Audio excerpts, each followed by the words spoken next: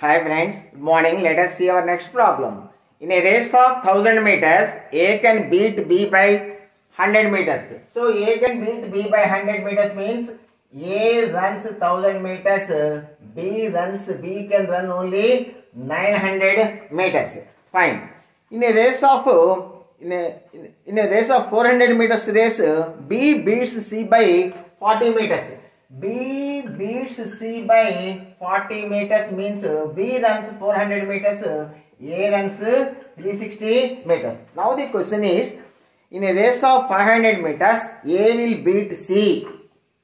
In a race of 500 meters, A will beat C. So, B runs 400 meters, C runs uh, 360 meters.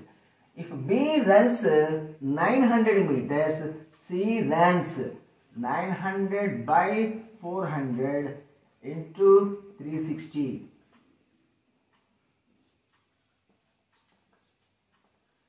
Eight ten meters. So C runs eight ten meters. So if A runs thousand meters, if A runs thousand meters, C runs eight ten meters. C runs eight ten meters. Now we want uh, how many meters uh, A can beat C in a 500 meters race. If A runs 1000 meters, C runs uh, 8 10 meters. If A runs 500 meters, C runs half. So 8 10 by 2.